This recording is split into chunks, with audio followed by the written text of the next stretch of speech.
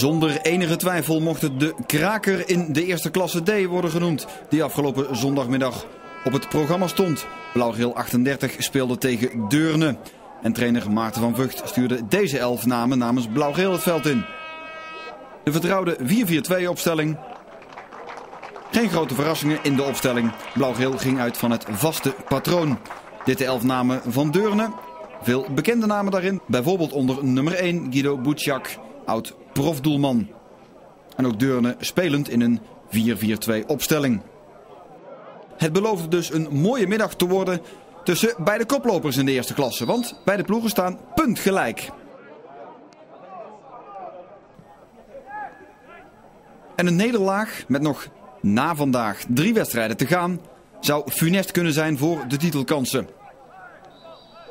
Promotie naar de hoofdklasse hebben beide ploegen zo goed als allebei in de zak.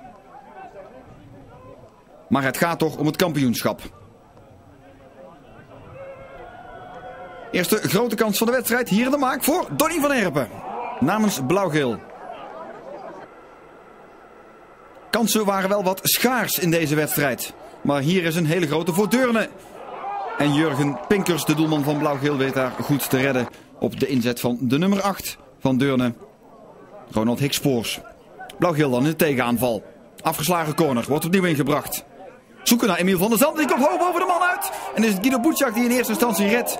En in tweede instantie hulp krijgt van een van zijn verdedigers. En zo staat het in grote kansen 1-1. Maar nog 0-0 in scoren. Verslag van rust. Alleen van de Besselaar komt hierin lopen. De centrale verdediger. Met een soort van karatentrap gaat die bal naast. Weinig kansen als gezegd. Dus snel in de tweede helft. 0-0 de stand. Maar het was Deurne dat veel en veel beter uit de kleedkamer kwam. En dat was hier bijvoorbeeld al te merken.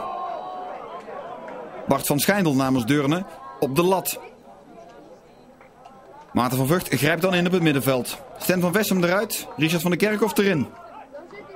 Eens kijken of de slag op het middenveld gewonnen kon worden. Dat Blauw-Geel wat meer zou gaan creëren. Maar vooralsnog was het Deurne dat aanviel. En zo waar hij ook een vrije trap krijgt. En die zou gevaarlijk zijn, kijk maar. Jurgen Pinkers heeft alles nodig, inclusief de lat, om de bal niet in de goal te laten gaan. Donny van Herpen eruit voor Geert Korsten. Maar als gezegd, het was Deurne dat nadrukkelijk de overhand had in de tweede helft. En op een gegeven moment gaat dat pijn doen, weet ook Blauw-Geel. Hier Jeroen van Moorsel. Die legt de bal af naar teamgenoot Nico Leijsten. En met een knal van afstand. Jurgen Pinkers ziet de bal niet aankomen dankzij alle verdedigers en aanvallers. Is het Deurne dat, het moet gezegd, terecht op een 1-0 voorsprong komt. Mooie droge knal over de grond. Mooie knal over de grond.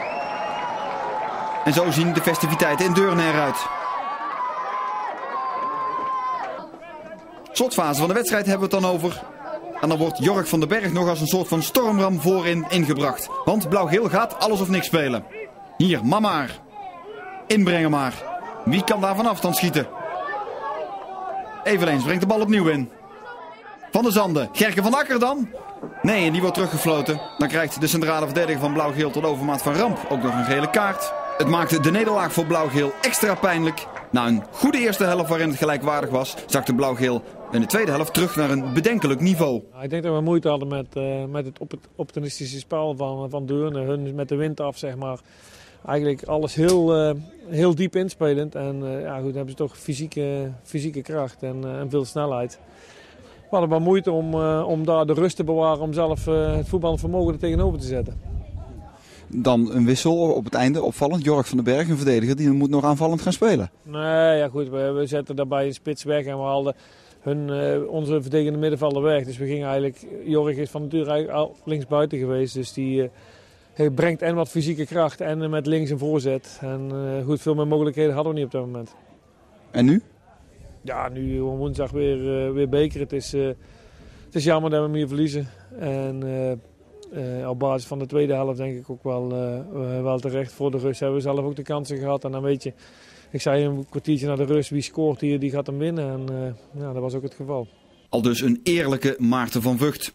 Kijken we naar alle andere uitslagen in de eerste klasse D. Onderin een belangrijke wedstrijd voor Top uit Os. Speelt gelijk tegen GSV 28. Degradatie dreigt nu echt voor de Ossenaren. Wat betekent dat voor de stand?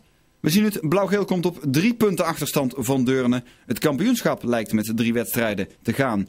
Gespeeld, al kan er nog van alles gebeuren, maar de Vechelaren hebben nog één punt nodig voor promotie naar de hoofdklasse B.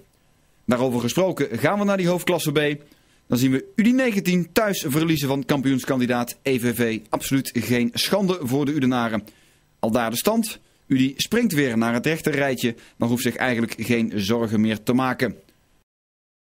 Dit was Skyline Sport voor deze week. We waren bij de kampioenswedstrijd in de eerste klasse D. Deurne tegen Blauw-Geel. Het is hier Jeroen van Moorsel die aflegt namens Deurne en Nico Lijsten. Hij zet Blauw-Geel op een 1-0 achterstand en dat was ook de eindstand. Volgende week dan zijn we er weer. Dan met de streekderby Gemert tegen UD19.